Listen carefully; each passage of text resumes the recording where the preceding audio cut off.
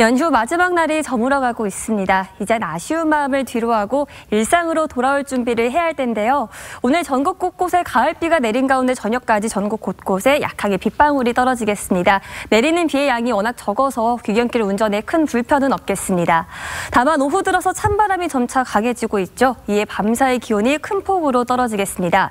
내일 아침 서울의 기온이 9도로 올가을 들어서 가장 쌀쌀하겠고요. 그 밖의 지역으로는 춘천이 6도, 광주 11도가 예상 예상되고요. 낮 기온도 이 찬바람이 불면서 예년 수준을 밑돌겠습니다. 내일 출근길은 옷차림을 보다 따뜻하게 하셔야겠습니다.